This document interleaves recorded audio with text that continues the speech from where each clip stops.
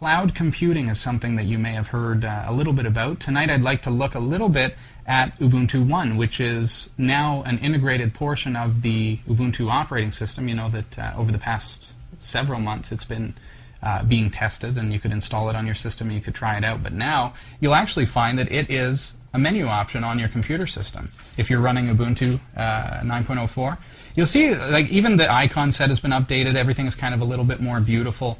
Uh, a little easier on the eyes, I find. Uh, the color scheme is nice.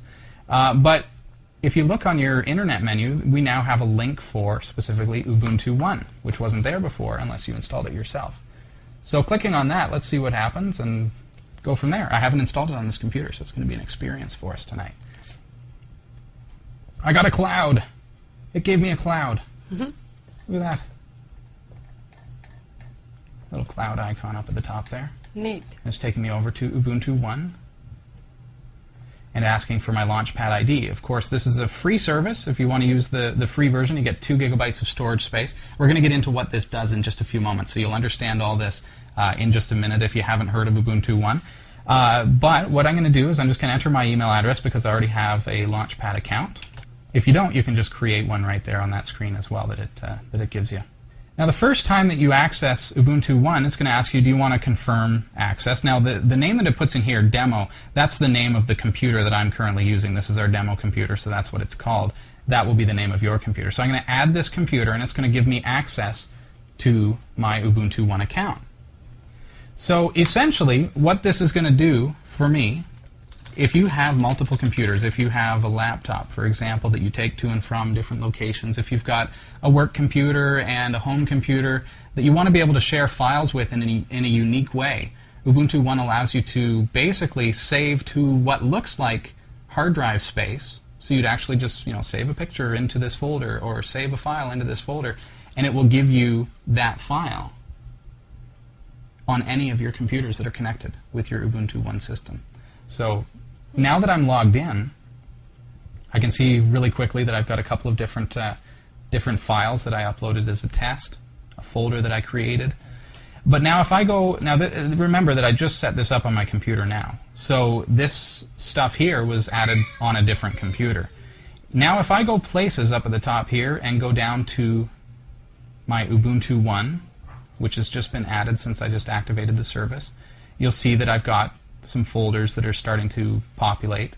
And that is going to actually synchronize with that remote location. So now any files that I put into this folder, the Ubuntu One folder, are going to automatically synchronize to the server and going to automatically uh, be synchronized to each individual computer where I have my Ubuntu One account set up.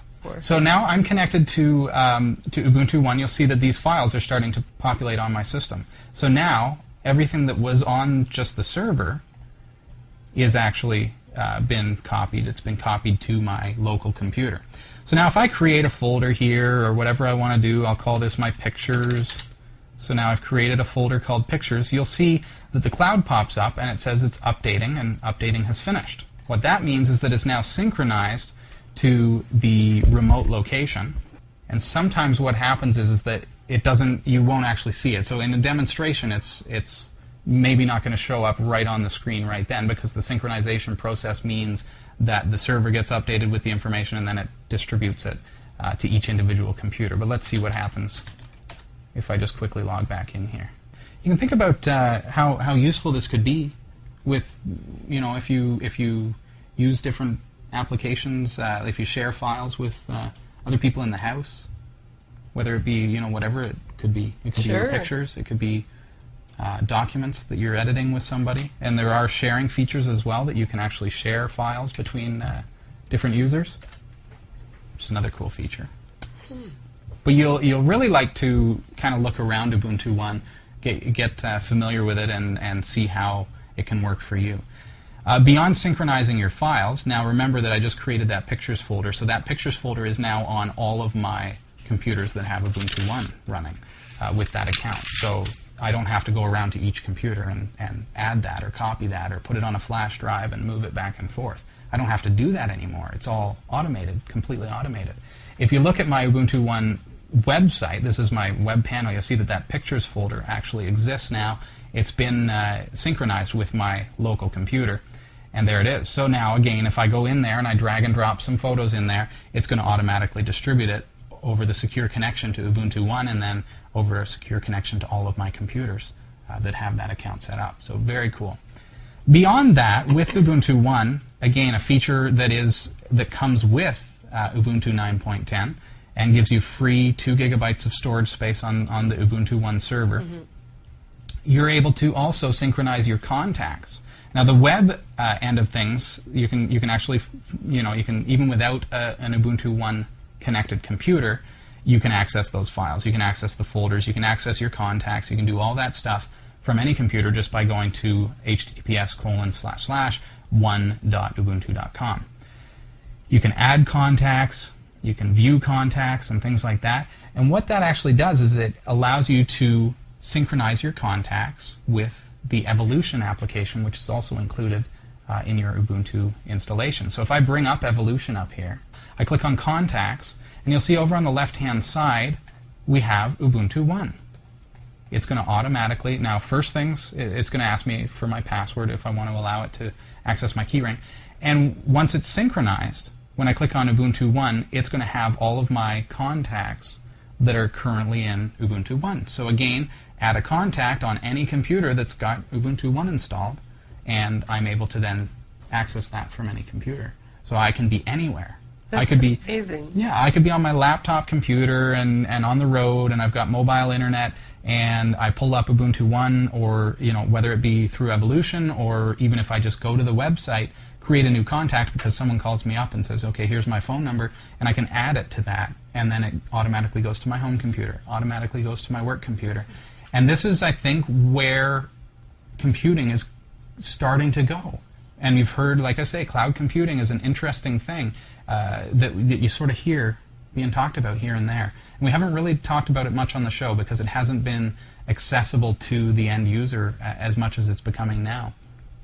But I think what happens is, you know, here we've got an opportunity to use something like a netbook with a very, very tiny solid state hard drive, so it's super fast, but it doesn't have a lot of storage capacity. Well, you can store your files on something like Ubuntu One. It's a remote server and you just synchronize the files as you need them. Uh, you're able to synchronize all that stuff, or you don't even have to synchronize them. You can just access them directly through your web browser as well. So, pretty interesting stuff. A few clues wanted to point out that anything over 2 gigs is $10 a month. Well, you can jump up to 50 gigs. But again, we're not using this for storage. We're not going to be using this for your mass amounts of files. This is not an ongoing, you know, accumulation of files like your local hard drive is. What this is, if used properly and if used cleverly, is going to be a, a usability thing for you. It's going to be something that allows you to have access to those really crucial project files that you're working on right now.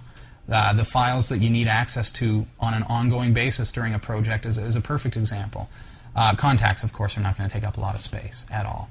But when it comes to the actual files, you could be working with a client, so you create a folder for that client on Ubuntu One, you drag the files in, and you access them from any computer, work on them, go to their office, pull it up on their computer through the website, and uh, it's all secure connection and all that. So um, then when you're done, when you're done the project, when it's all said and done, you drag that onto your local system, throw it on your network attached storage, your Unraid box, something like that, uh, and you could, because you no longer need that mobility.